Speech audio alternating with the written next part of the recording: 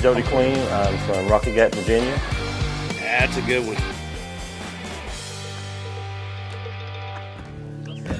All right, so here's one of the great things about the anglers and the kayak bass fishing top tier. They're all personalities, and every one of them's got a different one. If you look on the back of Jody's kayak right here, he's got a gator head.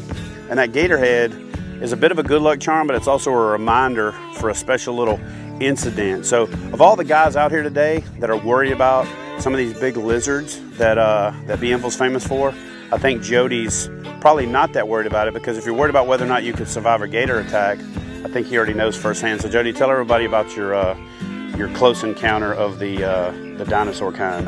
Yeah, it was my, my first trip to Okeechobee. Of course, Okeechobee's my, my bucket list fishery. So I took off paddling, and I was in a little, a small 10 foot boat at the time. And uh, I got to my spot, and I just kind of glided in. And when my boat stopped, I made a cast, and as soon as it hit the water, a 12 foot gator come out and hit me right in the side of the kayak. And he tried to roll, but he hit me perpendicular and he couldn't roll the whole boat. So I took my my bending branches paddle here, and they got such a sharp blade on them. I hit him in between the eyes, and he wouldn't turn loose of it. And so I just took the blade and slid it across his face and cut his eye. Mean, I seen the goop, so I know I cut it.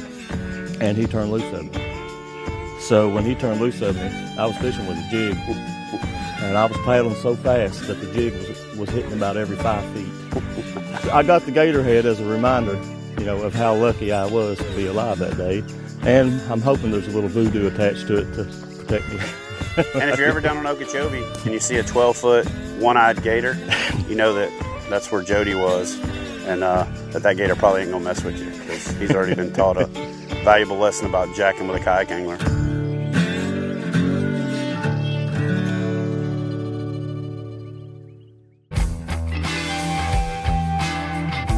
Hey guys, I'm Chad Hoover with Kayak Bass Fishing. If you're looking to get in on the exciting sport of kayak fishing yourself, check out kayakbassfishing.com. Yeah! Boom! Oh, yes!